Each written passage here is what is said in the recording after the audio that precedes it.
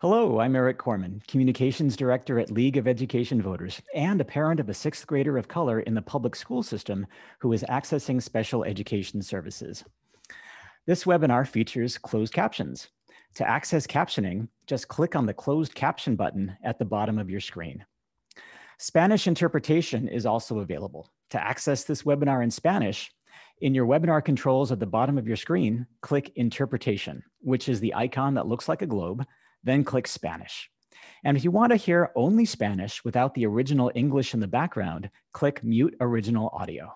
Special thanks to Claudia Azar, who is our interpreter. If you have any technical issues, feel free to use the chat function, which I will monitor throughout the webinar. In case you're not familiar with us, League of Education Voters is a statewide organization that works with families, educators, and leaders to create a brighter future for every Washington student. Our website is educationvoters.org. We believe that education is a tool for justice. One of the systems that perpetuate racial injustice experienced by communities of color is our schools. We believe every child deserves an excellent public education that provides an equal opportunity for success. In order to achieve this, we must pursue radical change in our school systems for equity, justice, and liberation. We must build schools and systems that honor the humanity of every student. Welcome to our free online webinar series, Lunchtime Webinars. We started this series seven years ago to share information and build knowledge on important and timely issues. Today's webinar is part two in our series about the role of K-12 schools in addressing racially motivated violence. From a long history of police brutality and racism targeting the Black community to a rise in attacks on the Asian American Pacific Islander community, we're continuing to see disturbing examples of racially motivated violence in the news. This past year, we have witnessed some of the largest protests in US history amidst a worldwide outcry against racial injustice. Since then, social movements have been thrust into the national spotlight, with youth at the forefront of the conversation. Recurring incidents of racially motivated violence are impacting our youth in multiple ways, but how should K-12 schools respond? In this webinar centering student voices, we have assembled a statewide panel of students, educators, and community organizers to discuss the impacts of racially motivated violence, presenting tools that can be used in schools to best support students on a daily basis. They will also answer your questions. A couple of housekeeping items before we begin. You'll notice a Q&A function at the bottom of your screen. This is a space for you to submit questions to us. We'll have about 10 minutes for questions after the panel discussion wraps up. As always, feel free to send any feedback about the webinar quality to us on the chat function or at info at educationvoters.org. And speaking of the chat function, you're welcome to use it to check in and comment on anything you hear. And now I am excited to introduce our moderators. Denisha Saucedo is the 2018 Puget Sound Educational Service District Regional Teacher of the Year and a sixth grade teacher at Kent Elementary School. And her daughter, Alisha Saucedo, just graduated from Thomas Jefferson High School in the Federal Way School District and will be starting at St. Martin's University in the fall. Welcome, Denisha and Alicia. The floor is yours. Thank you so much for that wonderful introduction. Um, before we get started, I'd uh, just to like to start, start us off with land acknowledgement. Uh, we respectfully acknowledge that we are on occupied Coast Salish land and that we live in and, and work on the traditional land of the first people of Seattle and the Duwamish people. We pay respect to the Coast Salish elders, past and present, and extend that respect to their descendants and all Indigenous people. Um, to acknowledge this land is to recognize its longer history and our place in, in that history. It is to recognize the lands and the waters and their significance for the peoples who lived and continue to live in this region, who practice uh, spiritualities and were and are tied to the land and the water, and those who live and continue to enrich and develop in relationship to the land, waters, and other inhabitants today. Um, we would also like to recognize that the United States was built off the stolen labor of kidnapped Africans and enslaved Black people's work, which created the profits that created our nation. We also recognize the brown labor currently happening in Eastern Washington, California, and across this country. They are working under terrible working conditions for less pay, facing COVID 19 and racism in order to survive while providing food and other necessities we need. This acknowledgement is only one small step in a commitment to working for reparations and liberation for Black, Indigenous, and people of color every day. Don't ignore the Black led liberation efforts and resistance that is happening and has been happening. Materially support Black communities now and in the future.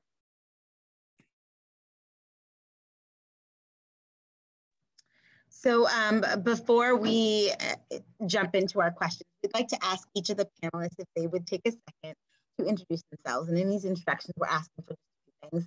First would be um, your name, your role, and what is that one word that you can think of or phrase that brought you, you here today? What made you say, you know what, lunchtime, I'm going to go ahead and look and give up my lunchtime to, um, to be here to have these um, difficult conversations. And I'm going to go ahead and just mute myself. And um, as we continue on through this webinar, I'd like to just say that if you feel like it's your turn and you'd like to make sure that you're not talking over each other, just unmute and watch for the unmutes. And so then we can make sure that we're kind of just having a relaxed conversation together. And so um, I will start. Misha Saucedo. Um, as you all heard, uh, I'm a sixth grade teacher at Kent Elementary. And the one word that brings me here during this time is sorry and my, my brain just literally went to it to i was going to give you guys two words and then i was going to give you an example that's not an actual example and i was going to say why not? And so i'm going to do it. Um, i always break my own rules. Why not? So those are my that's my phrase. Why not? Um, who would like to go next? I'll jump in. Good afternoon everyone. My name is michael wilson. I'm a para at Kentlake high school. This is my fifth year in education um, working on my master's program so I can get back into becoming a teacher. Um, I actually have a phrase, and that phrase changes from time to time, but it basically has the exact same message behind it. It is uh, why not? Why don't we have an open and honest conversation? And when I say conversation, I want to actually include dialogue because one person talking isn't a dialogue. It isn't a conversation. It's just one person getting their information out. If we share information and get um, an exchange of ideas an exchange of cultures then there'd be a bigger and better understanding of how we can live together and work together. Thank you I can go next. Um, my name's Alisha Saucedo. Like we said, you guys can call me Allie. And um, I'm also an Act Six scholar going to be attending St. Martin's University. Um, and my one word why I'm here is love.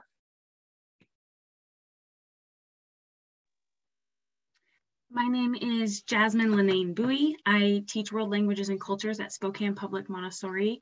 Um, and my one word for why I'm here is visibility, kind of one word for everything Michael just said.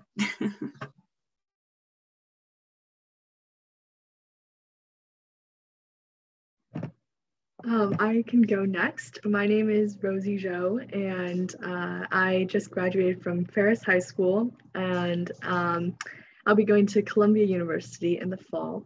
And my one word for why I'm here today is community. I think that's a great word. Um, yeah, thank you. I can go next. Um, hi, I'm Anvi. Uh, I just graduated ninth grade at Ferris in Spokane, Washington. And um, my one word for why I'm here would probably be personal, or if it was a phrase, I'd say why us, because I feel like this whole situation is so personal to me as like a first generation kid here, as a person of color in America. So, yeah. Um, hello, uh, my name is Bradley Carrera. Uh, I am a graduated senior um, from Thomas Jefferson High School. Uh, and then, like Ali, I'm going to be heading towards Gonzaga, though, um, as an Act 6 student. Um, and my one word why I'm here, um, I would say empathy. Um, and then that phrase, just having a hybrid mentality and being open minded to different cultures, different perspectives, and just being, you know, kind to everyone. Hello, I'm Nicole Jenkins Rosenkrantz, and I work with Spokane Public Schools as the Director of Community Relations and Partnerships. Um, I also was a co-author of our equity resolution that was adopted by our Board of Directors last summer. Uh, my word is representation. Thank you.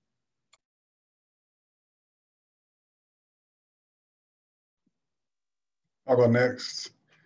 My name is Brett Allen. Good afternoon, everyone. My name is Brett Allen. I'm a English teacher at Kentridge High School in Kent.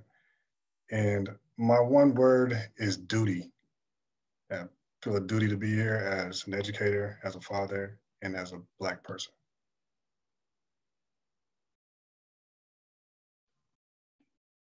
I guess I'll go next. Uh, my name is George Breland. Uh, I'm a current principal at Cleveland High School in Seattle, Washington. And uh, I have been um, an educator for 27 years, a parent, a product of Seattle Public Schools, a proud graduate of Garfield High School. And uh, my one word is love, because like Alisha said, uh, love in the end will conquer hate. And so we need to come from that premise, uh, whatever we do. So thank you for having me.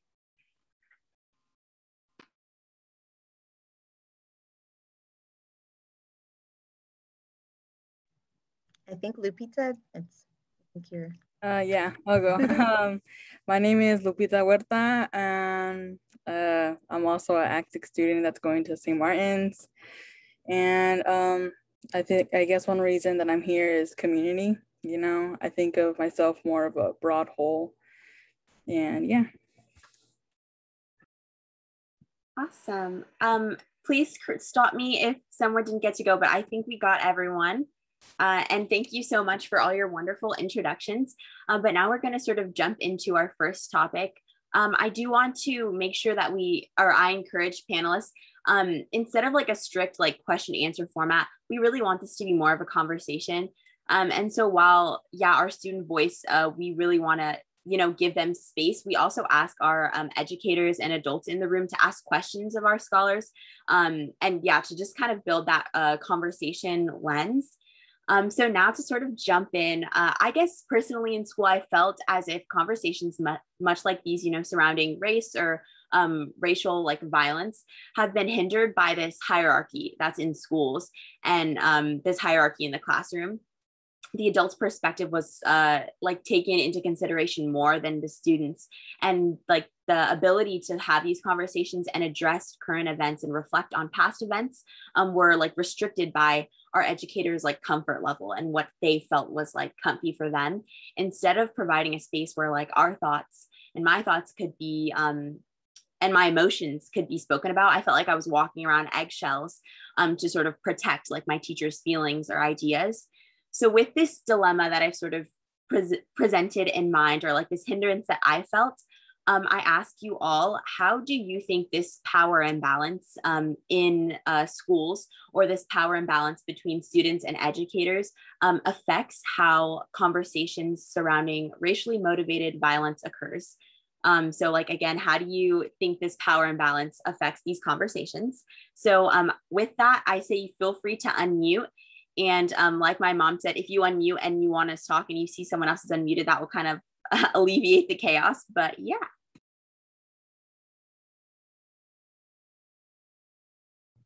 Yeah, um, maybe I can just start us out with this. And at least in my personal experience, what I've really experienced is that a lot of times these conversations, they don't even happen in the first place. They aren't allowed to happen. And um, I think there are many reasons behind that, specifically, uh, like you mentioned, teachers, you know, not wanting to make things uncomfortable in the classroom, um, not wanting to provoke any like controversial topics. And so they kind of just try to avoid it and um, really don't promote any of that type of um, engagement from students. And I think that is something that I really hope can um, can change in our schools is just having really open and honest conversations um, about things like race without feeling like it's uncomfortable or too controversial to talk about. Um, because I think having that kind of dialogue in schools is just really important and um, it can help a lot of students who normally, you know, at home um, in their own environments, they wouldn't really uh, ever be exposed to any of that kind of dialogue. Um, in schools, they can they can talk about those things, and if it's not even um, really allowed or um, promoted in schools, then it's like, you know, they won't ever get exposed to it.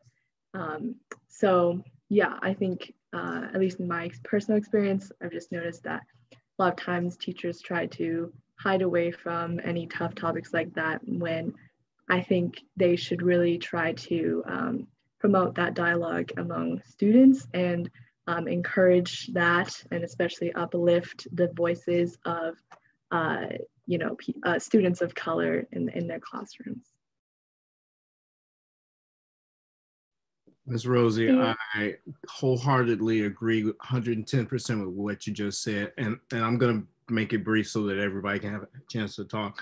Um, the problem is that everyone is uncomfortable and we have to accept that it is an uncomfortable conversation is a i'm sorry uh, subject to talk about but it has to be had in order for us to move forward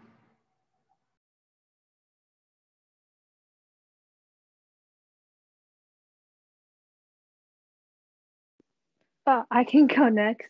Um, I was, yeah, along the same lines. I feel like um, the power imbalance really puts educators' ideas and comfort levels really ahead of anything that what the students might think. And a lot of the times, like, of course, educators are the ones creating the lessons plans, whatever, but educators should be, I don't know if they're right, encouraged probably to have these conversations with the students because it is really important not only for the educators to learn, but for the students to feel like their voices and ideas are being heard and even just to be represented because representation especially for kids is so important especially in schools. And when they see educators promoting those conversations they'll know that like it's okay to talk about it's okay to learn about and it's okay to like feel seen especially when you see like of course an abundance of white teachers in our school systems. Like i feel like most of um all the teachers I've had have been white teachers. Like I've never seen a teacher who looks like me, and I feel like that's one reason why they feel so, eh, like um, they feel like they can't have these conversations either because they feel like it doesn't affect them or they feel like they're too scared to hit like a controversial topic like that. And I think that um, because they feel that way, then the students' voices aren't amplified in the classroom, especially students of color. So if we can support educators to make these kind of conversations, it will really help students and students of color in the long run so that they can keep having those conversations.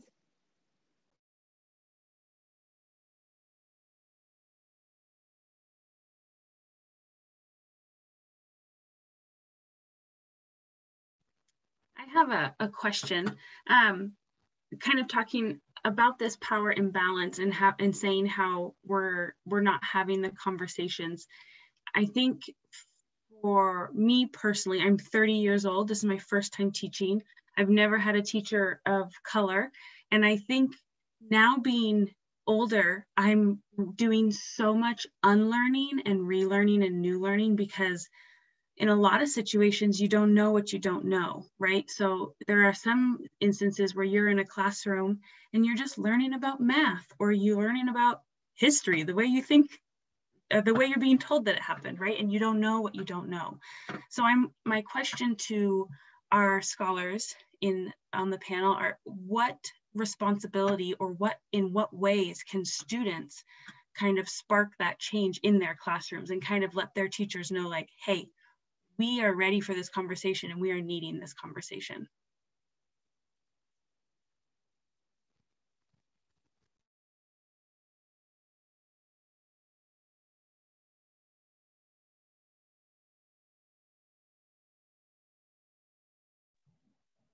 Yes, just feel free to unmute. Oh, it's, is it not working? Wait, Wait, did, did you see those messages? Those are not me. um, I'm confused. Um, Yeah, I did not say that. I, I my hands are right here. Yes, we I think we have a spammer. I don't know if we can get yeah. That's Is there a way to close the chat? Because I think we have a spammer. Yeah. Thank, Thank you. you. Perfect. okay, no worries. Let's let's not let somebody come into our conversation and distract us from what we're here from. And essentially, what we're here to do is to disrupt. And so, a lot of times, there are people who are going to jump in and disrupt on purpose. And so, Bradley, jump in. Let us know. I'd like to bring us back to the question, which is about the empower of balance. And then um, Jasmine also talked to us about so students, like what can you do?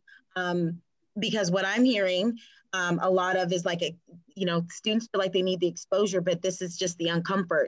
The uncomfort of teachers has created a situation in which the power that the teacher has. So um, you guys talked a little bit about the fact that teachers make the lesson plan right? So that is the power because they are deciding what's happening. So what do we do about that right? How can we encourage? How can we move forward? What do you guys think?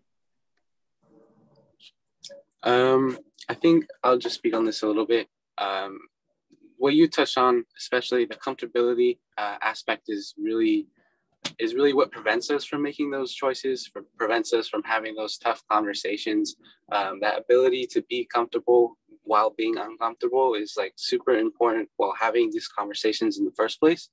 Um, and like I said, being open-minded, my word for being here, empathy, um, and just taking that first step to have that conversation, taking that first step to, you know, really present that subject towards your teacher, towards their classroom, um, towards your community, wherever you're at, um, and just providing that, have letting your educator know that these conversations are one that ones that we want to have and ones that we we need to learn more about, um, and that power and balance of having degree um, from an educator point of view, uh, it can be really really scary um, with that power of influence because you know you have influence on all these students in your classroom. And if you feel like you make one word one mistake um, then that bond can be broken that trust can be lost and those conversations um, feel a lot tougher.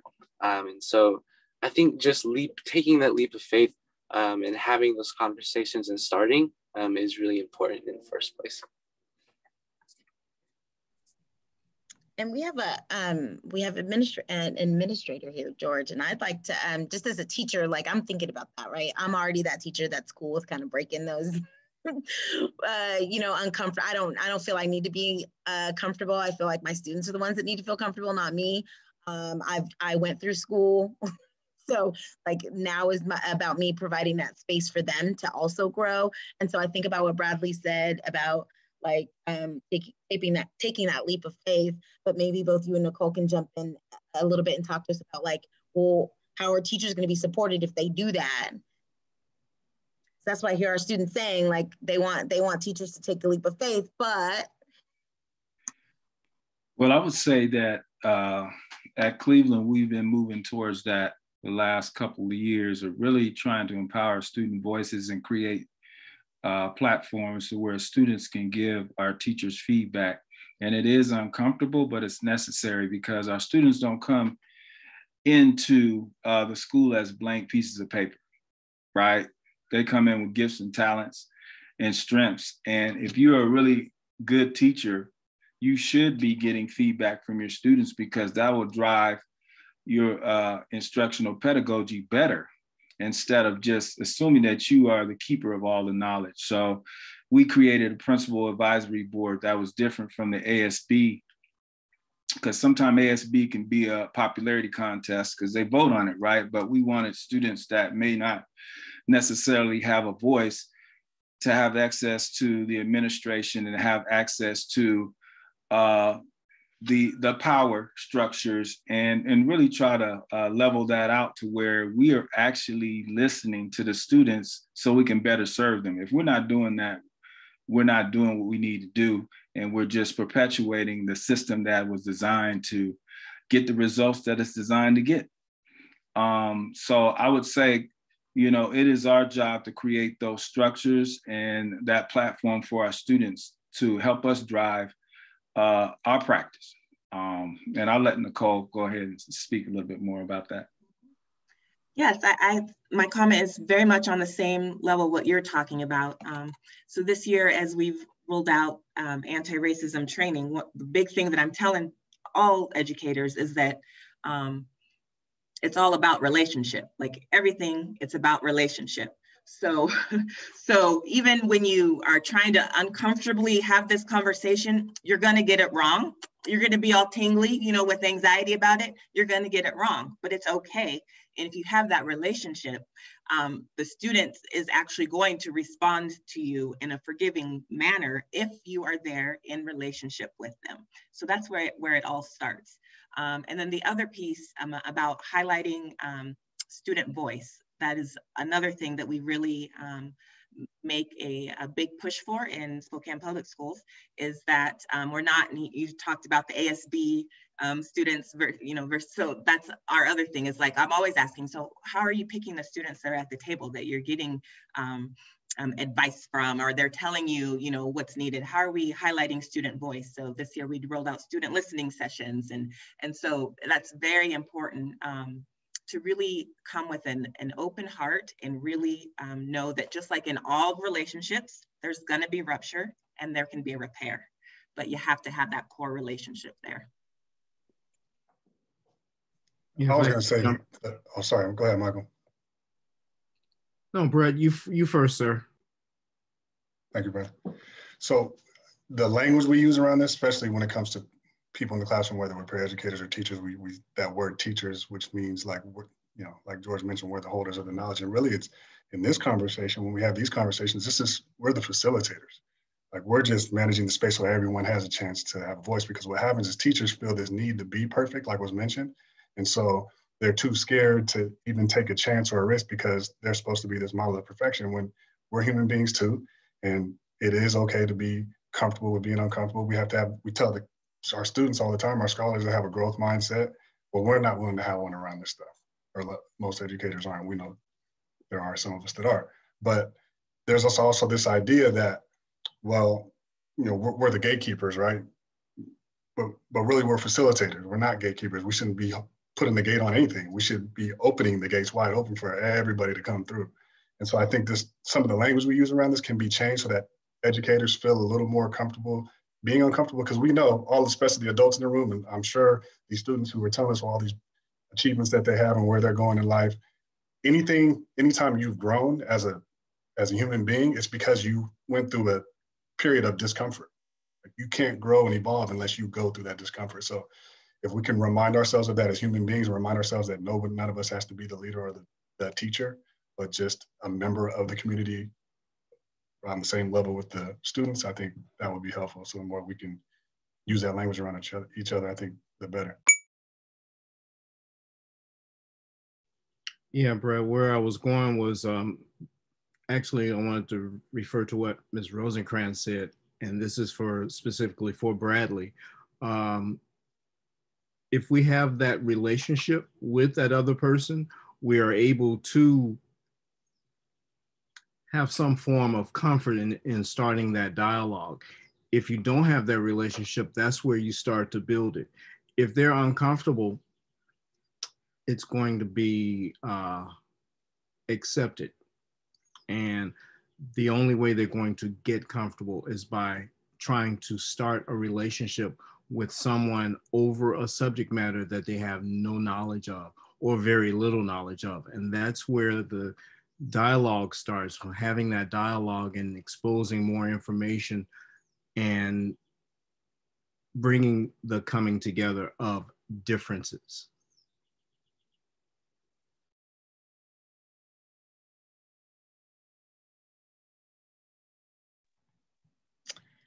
Wow, thank you. I um that honestly makes me think about like the program that a lot of you, so Bradley, Ali and Vita, you're all Act Six scholars, and it's all built around leadership. Um, I don't know, Lupita, did you wanna do you wanna add anything about that empower balance? Or I kind of think about you guys, and I think about the idea that you guys are moving on to this next step with given this title of leader, and how is that going to uh, impact or change how you expect your college uh, teachers to allow you to be able to have these conversations. Um, because this is not just an issue K-12, right? It's also in higher ed. What are your thoughts around that? Um, I can definitely say like in my K through 12 experience, I really didn't have any support like that, except there was this one program that I was part of that kind of allowed us to talk about um, issues in our community and, you know, in a broader spectrum. And we would go to like Olympia and we would talk about like certain bills that could like uh, that um, could impact us.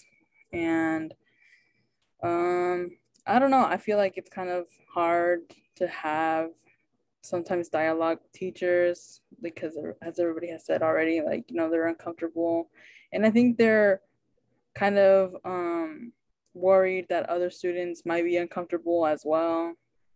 I know it's kind of hard to talk about this kind of problems with my other friends that are not um, people of color because they're like oh well i you know i've never experienced it so but it's just like oh okay never mind i don't want to talk about it. But it's I'm kind of looking forward to going to school and you know advocate for a space where we can kind of have these conversations and have more dialogue between a lot of other students. I think that would be kind of interesting.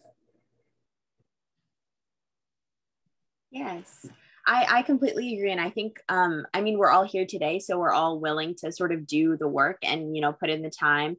Um, and i think we've done a great job already of just like establishing this foundation and saying like these are the limitations that you know we face when we try and tackle these like really emotionally de- charged discussions. Um, but now i kind of want to shift our discussion and ask um, how do you think we can alleviate this uh, power imbalance? Like i know mr wilson said you know building relationships and just creating uh, like bradley said empathy. And i just want to ask you guys like how do you think we do that? How do you think we build these relationships? We create empathy um, among staff students and just sort of alleviate these feelings that um, our students and kind of our staff are having.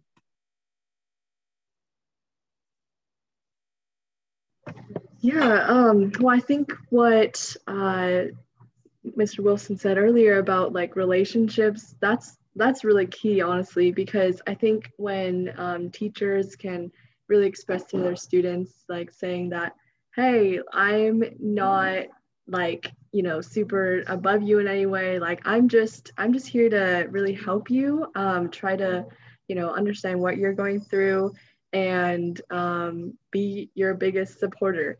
And when students understand that from a teacher i think that's when they can really feel like they actually belong and um, they can actually learn to their best ability. Um, I think a lot of teachers now, they don't necessarily make the effort and um, that, you know, just leads to students feeling very disconnected from the teachers and just the education system um, in general. And so, yeah, really just trying to um, have teachers uh, try and make connections with students. I think that'll create greater empathy among um, the school.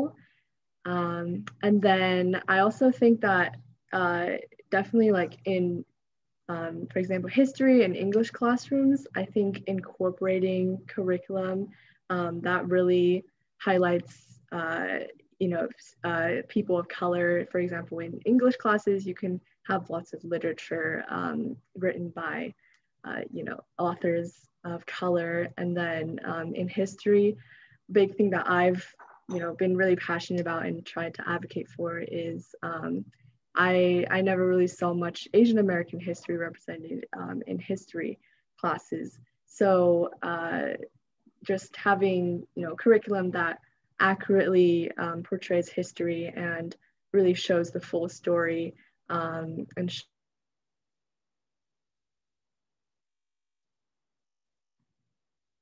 think we lost Rosie. I think I might have froze there for a second. Oh, yeah, there you go. Did I break out? Yeah, just a little okay. bit. I think your, your picture's still frozen, but we can hear you. Oh, okay. Sorry about that. You're fine. Cool. So Rosie, if you want, just um, we'll we'll move on to someone else and then jump right back in, okay? Sure. yeah. Um, I can speak to this. Um, so I think like I'll take my experience from this year, for example. So I noticed that we only really brought up conversations of like race or privilege specifically in my English class when we learned to kill a mockingbird because it's ninth grade. And um, I was actually my English teacher was the one who put me here to this uh, to this call. But um, I feel like that was the one classroom where we actually had a conversation. And I feel like the one big thing that I noticed was that like I'm the only person raising my hand to like talk about privilege. Like not only the educators are feeling uncomfortable, but the students aren't feeling comfortable to talk about these issues, or if they are, they're taking very like they're not going as into it as a person of color might feel, or how their ideas might like differentiate from white people. Like I don't know if that makes sense, but um that's just like that was my experience this year and I feel like we have to teach educators to be allies and we have to teach them how to teach because students aren't like if students haven't been exposed to these kinds of things before they're not going to know how to talk about them and neither are educators. So educators have to learn about it so that they can teach us to learn about it and have these conversations with each other not just with educators. Um, can i just jump in and say yes? And it, i, I kind of want to circle back just a little bit because i'm like yeah um, can really quick go around. When's the first time you got to have a conversation about race? Like at what age? Like at what grade? And so you think about it as a teacher, I didn't, those were jumped around. I went to Meridian, you know, where Brett teaches now. And I, th- those conversations still weren't really happening. They were jumping around. I didn't have my first conversations about race until college. And so I'd like to know, because it sounds like what you're saying is, is that we need to start early so kindergarten, right? We need to start early and we need to keep going. And teachers, because how are we going to learn it? How are teachers going to learn it? They're also going to experience it. If we start now, those those kindergartners become teachers and we teach the teachers, right? And so I would say college. Everybody want to unmute real quick and say, when's the first time you got to have a conversation about race? College. Don't even know. I think for me, it's even after college. I would say college, but I didn't feel like I was a part of the conversation. This year, so senior year. I think like the first time I ever got to talk about race and how it's impacted me is when I did my senior, like I did a I had a speech for my senior graduation, and I think that's like the first time I actually got to like talk to everybody about like what it's like. So yeah. I agree. Um, I think it it start with my my essay about diversity um, and, and my side of the story um, when applying to Act Six. Um, so this year, uh, along with Ali and, and Lupita. Yeah, mine would be this year as well in schools.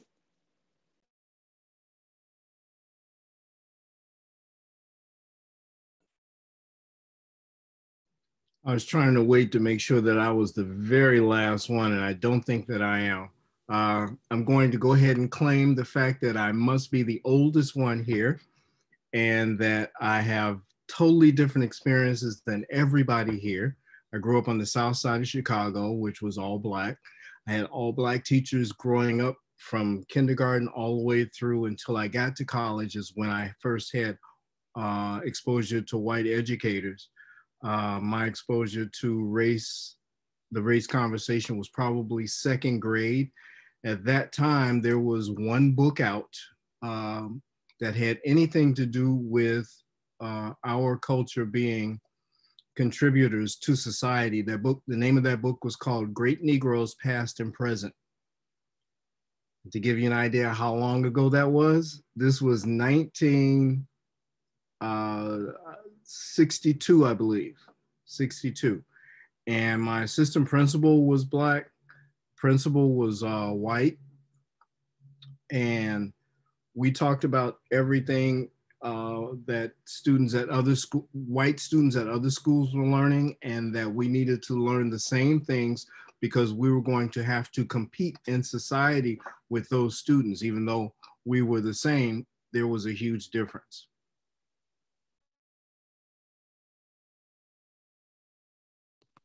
Rosie, not sure if you, did you hear the question?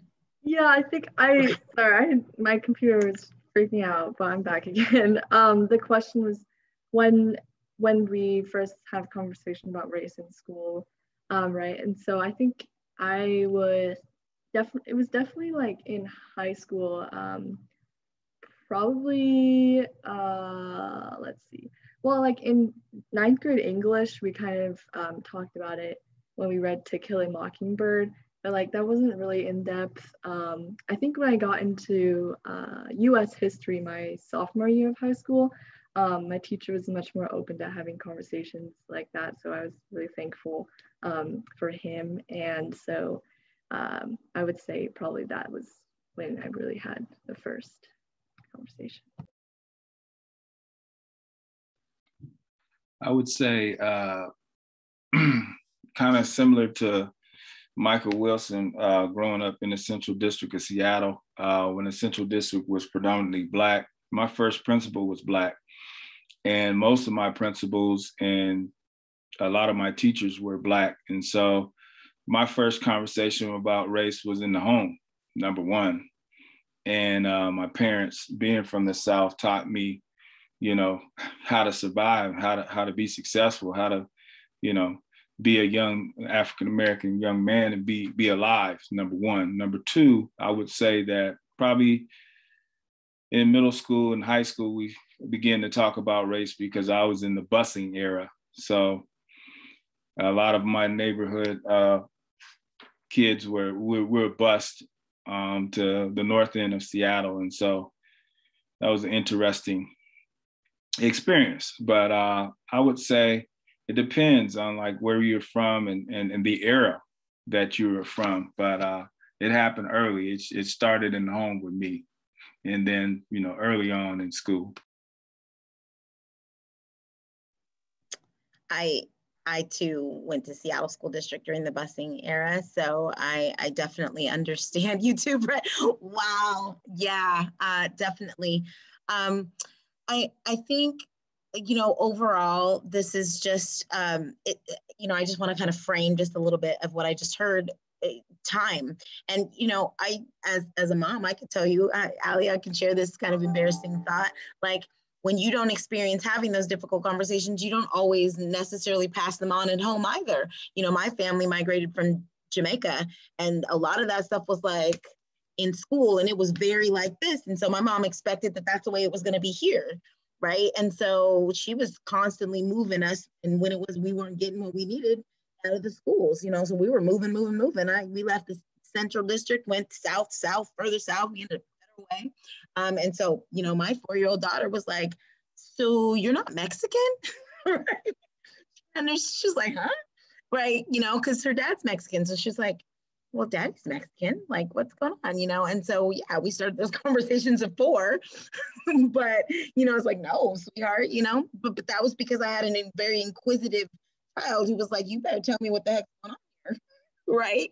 I don't know if I would have started that conversation at four had she not, you know? And so, um, it's difficult when we as parents then have to go ahead and try and figure it out because we don't know you know what's what's happening. So i'm going to go ahead and let ali frame this last question before we run out of time. Yes we are almost out of time. Um, but i think a common like theme here is just has just been communication. I know um, mr wilson mr Breland, you guys talked about how um, you guys had educators who kind of like uh, looked like you or reflected your students and how that had um, value in sharing those experiences. And you know when when someone can speak from their heart and teach people um, it really helps a lot but we don't always have that luxury.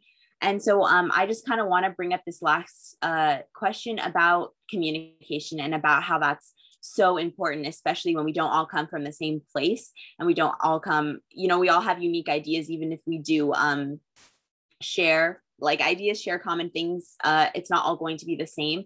Um, so we i just kind of want to ask like um, in what ways can communication sort of uh, build up like this conversation we've had here today? How can communication be used to sort of um, yeah help these conversations surrounding racially uh, racial violence and like what supports in schools would you like to see put into place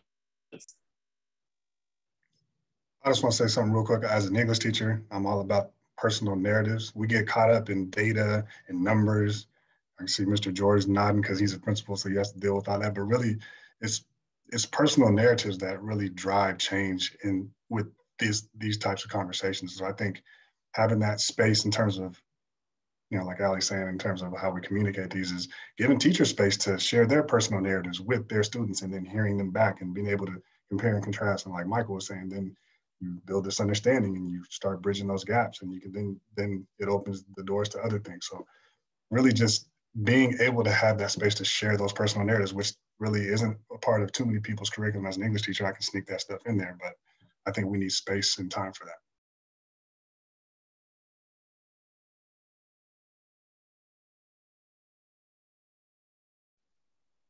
I think going off of that, oh, go ahead, Michael. Abs- absolutely not. You first. I just wanted to follow up off of what Brett was saying about making that space and what Anvi was saying about how teachers need to learn, right?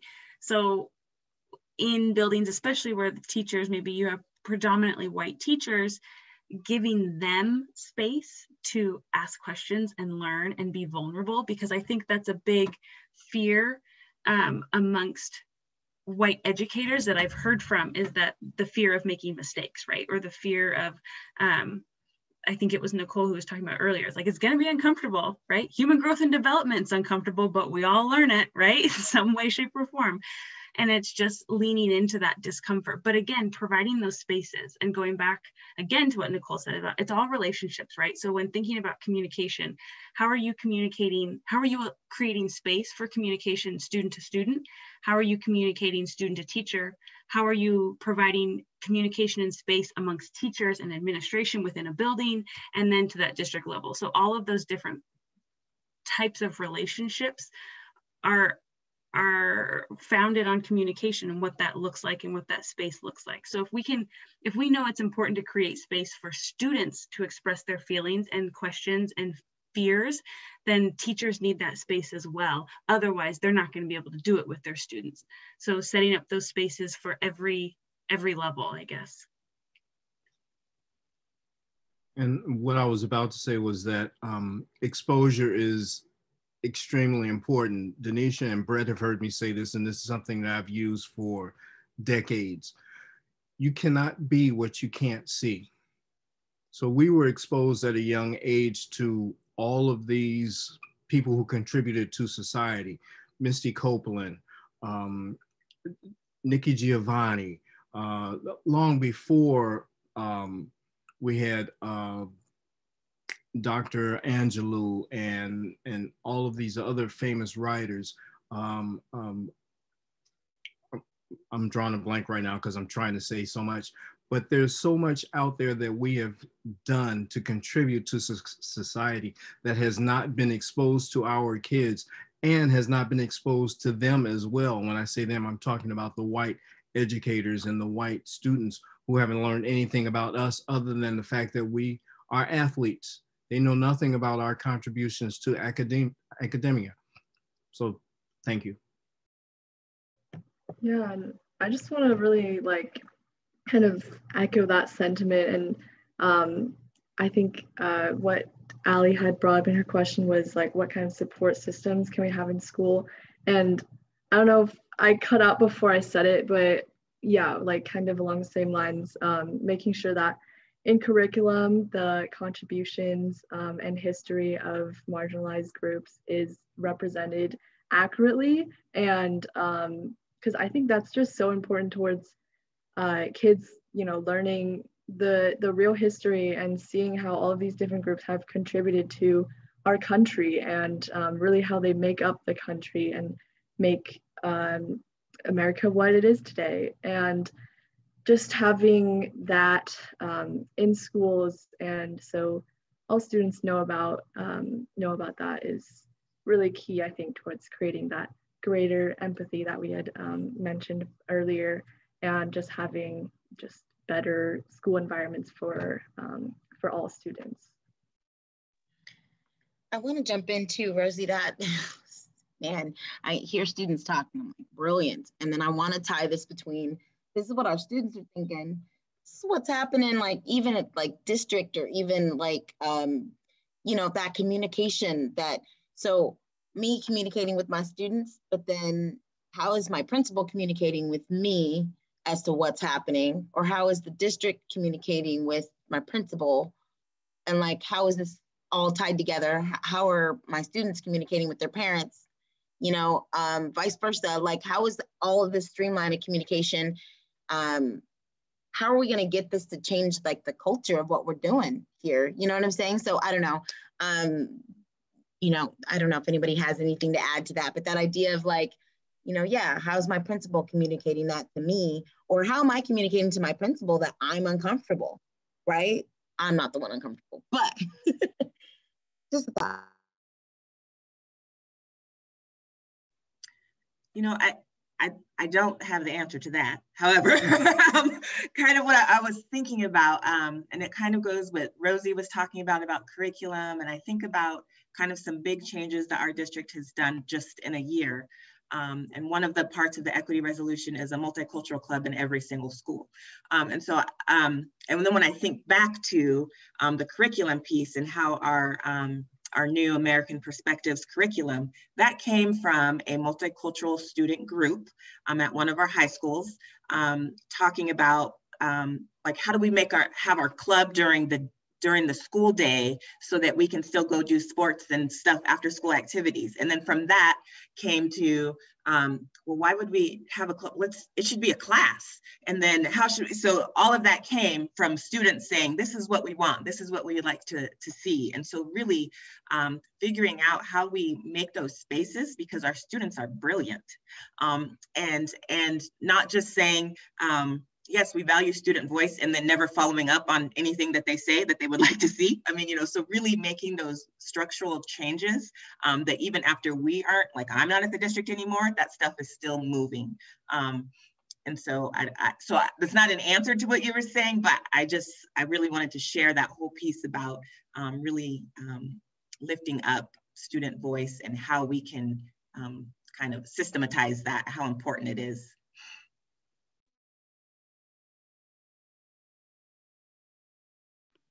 I'll just be brief, but when I look at the the word of uh, communication, I think of communication for me as a as a leader, anybody in a position of leadership means that you're speaking and you're listening. But a good leader is a better listener than speaker. So all of the, the, the through line of what I see what, what the conversation we're having here is that students need to be listened to, they need to be valued, they need to be seen as what they are. They're seeds of younger adults, right? And we have to seed into them.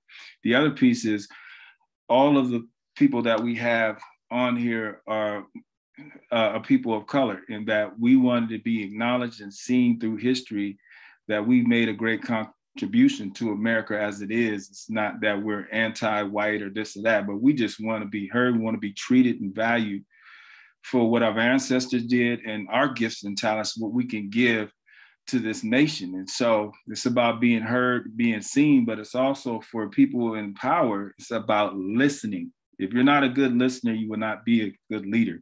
If you're not a servant, you will not be a good leader. And that's what I live by. That's what I believe. And um, I'm just I'm just happy to be a part of this panel, but I, I, I just see that theme. And commune is also family, communing together and building relationships and becoming family. So we are all families, only one race, in my opinion. Race is a European construct, by for those of you who don't know, but we're all one race, one people.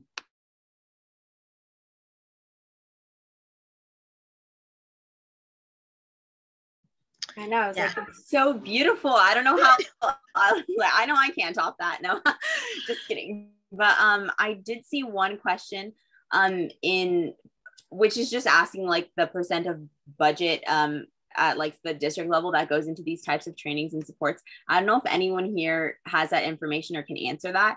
Um from a student like perspective, I would argue it's probably not enough just because of what we see. Um, but of course, that's not like an educated um, like number or anything. And then I see one other thing that says students are teachers, and I love that because we're all we all teach each other. We all uh, grow and learn, um, and teachers are also students. And so um, I just want to say I love that, and I think it's time for us to wrap up. So I will pass this yeah, um, I we will we will pass it over in just a second. I do want to add one last thing. Um, that one people line, just so you guys understand, like that is critical. And so if you take anything away from this, um, I want to to read you guys our words for why we were here. You know, why not? Love, visibility, community. Why us? Personal, empathy, representation duty, love, and love will conquer hate, and community. And then I want to end with the we are one people. Um, my family migrated from Jamaica, and anything um, out of many, the one is what you will see on almost anything that you get um, from Jamaica. And so let's take something from that little island down there and let's uh, remind ourselves that we are one people. But in order to be one people, we have to suffer together. And our, you know, our our students are suffering, right? Our students are suffering, and it's at the hand of us as educators. Um, we are not letting them um, breathe. We're not. We really need to do a better job of framing our classrooms and giving them the power.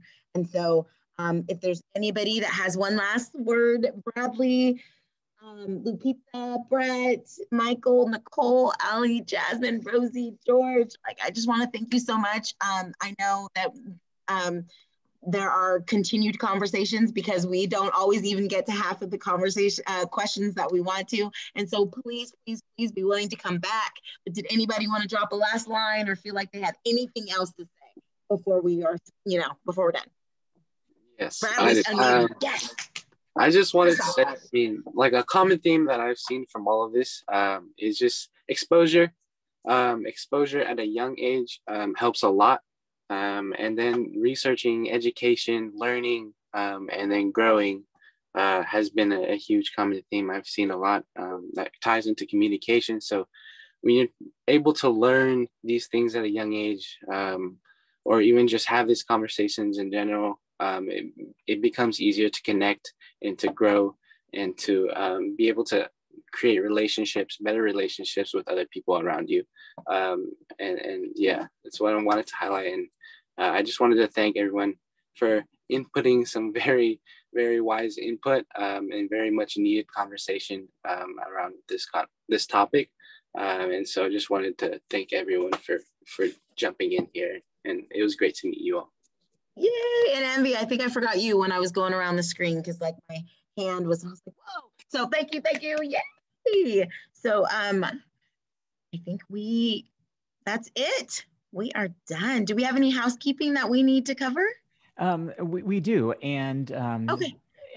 And um, if anybody else has any last words too, uh, I can take a minute and do that because I saw Brett that you unmuted for a moment there. So if there's something you wanted to say, go for it. And I'm going to disappear. That was by accident. I ended up putting it in the chat. I'm just, it's so cool to see these powerful young folks and just knowing that we're passing the torch to some, to people much better than us, powerful, powerful people starting at a young age. That's proud to be with here with you.